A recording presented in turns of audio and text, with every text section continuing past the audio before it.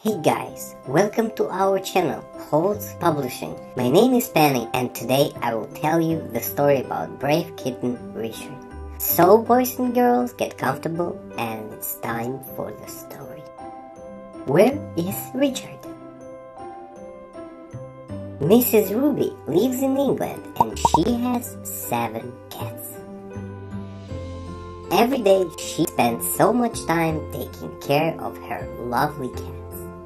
In the evening time, Miss Ruby drinks mint tea and reads books for her kitties. Once upon a time, somebody rang at Mrs. Ruby's doorbell. She opened the door and saw a tiny baby kitty in the basket. Miss Ruby took poor kitty inside and gave him a name, Richard. One day, Miss Ruby went to a barber's shop to get a new haircut and right after she left, all other cats started to prepare home for a birthday party for Miss Ruby. Richard decided that he has to buy a gift for Mrs. Ruby and went to the city. Meantime, Mrs. Ruby was back at home and found out that Richard is missing.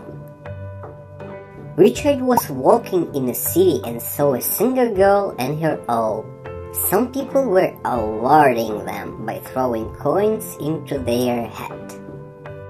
Richard thought that he might sing too, and will make enough money to buy a gift for Mrs. Ruby. Shortly, he found a place on the street and started to sing. After a while, he found out that he made very little money and thought that he needs to do some job to get paid more. And Richard went to university he studied mathematics, biology, literature, and many other things and finally, now Richard has engineer degree. He worked hard and finally invented a rocket. Richard's rocket flew around the world and transported people and goods. Now Richard was paid very well and finally went to buy gifts for Mrs. Ruby and her kittens, his friends. This is the whole story for today. Don't forget to subscribe to our channel. Good night.